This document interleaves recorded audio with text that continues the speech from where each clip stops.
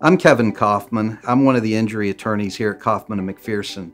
One of the things that I'm frequently asked is, can I do anything about the fact that I was injured through the negligence of a friend or a family member?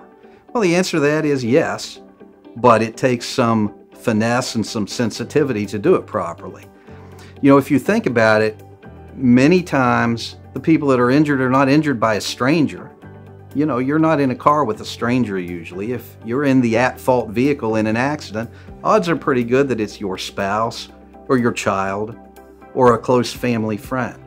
So, in other words, it happens all the time.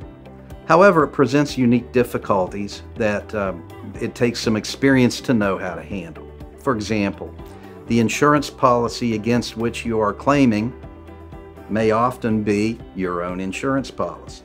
So it's your own policy and you've bought it, but they are defending against your claim. So that's a twist that, that people haven't thought about. Another thing is that frequently the insurance policy against which you're claiming is that of a close friend who's going to be reluctant to give you that information. And that whole issue has to be dealt with. There are ways that this can be done. It's not unusual, and an experienced attorney can help you through that kind of problem. Feel free to call me or one of the other injury attorneys here at Kaufman and McPherson. We'll be happy to talk to you about your situation and what we can do to help you.